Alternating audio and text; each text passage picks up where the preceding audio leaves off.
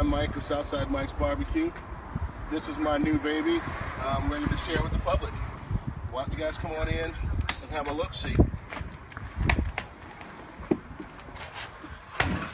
It's really nice. This is my kitchen. As you can see, it's a full-on mobile kitchen. Whatever you see in a restaurant, you will see here. Everything in here is uh, state of the art. Um,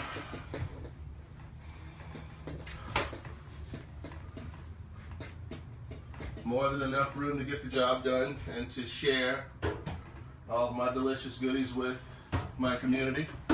And this is the window where you do business right over here? This is the business window, yes.